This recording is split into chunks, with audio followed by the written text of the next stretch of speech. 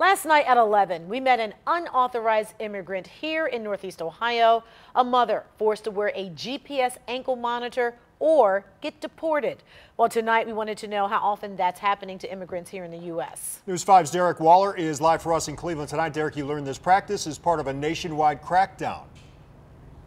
Yeah, a federal immigration official confirms that they often use those GPS ankle monitors in lieu of detaining someone in jail. And I've learned it's a practice that has only grown under the Trump administration. I feel chained. Annabelle Sanchez can't go anywhere without this GPS monitor strapped to her ankle. How many? The mother of four American born children says she was brought here from Mexico as a child. On the government's radar for years, but with no criminal record, they basically left her alone until now. If they put this on me to make me feel a criminal, they did a very good job because I do feel like a criminal.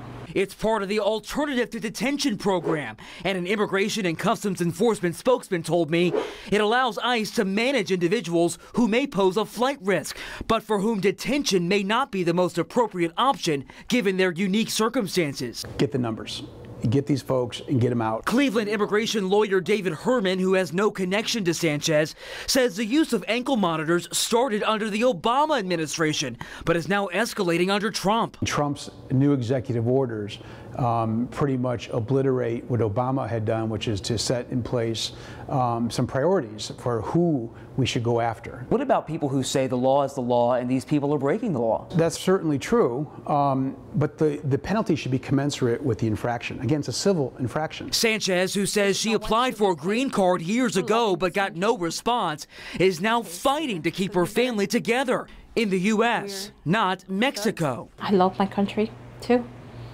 but I don't see a future for them. They don't even speak Spanish.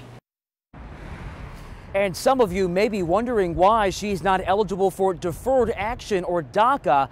That's the Obama era program that basically granted immunity to children who were brought to this country illegally. Well, that's because the program cuts off at 15 years old.